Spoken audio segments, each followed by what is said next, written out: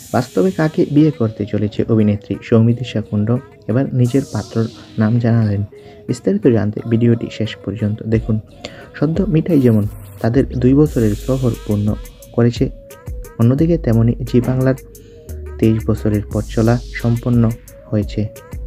এর মধ্যে গতকালই জি বাংলার একটি অনুষ্ঠানের ভিডিও শেয়ার করা হয়েছিল।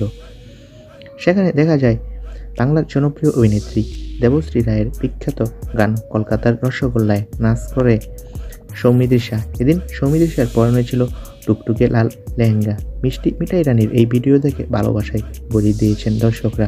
সোশ্যাল মিডিয়ায় শেয়ার করা অভিনেত্রীর এই ভিডিও কমেন্ট সেকশন ভরে গিয়েছে।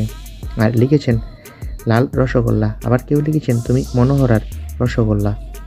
তবে তোমার বিয়েটা কবে হচ্ছে? আর পাত্রকে?